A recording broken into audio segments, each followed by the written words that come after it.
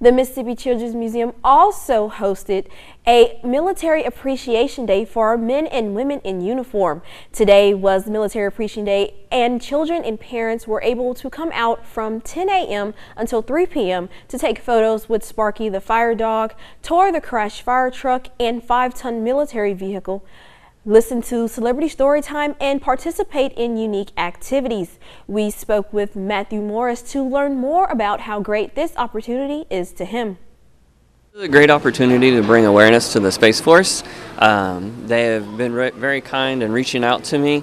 Uh, there's not a lot of Space Force uh, personnel in the area. But I retired in January of this year, so I actually get to come back and um, wear a retired pin now and still be able to put on the uniform and uh, spread the, the news about the Space Force. So I, this is a great opportunity for uh, people to come down and learn about the Space Force and the, the Children's Museum itself.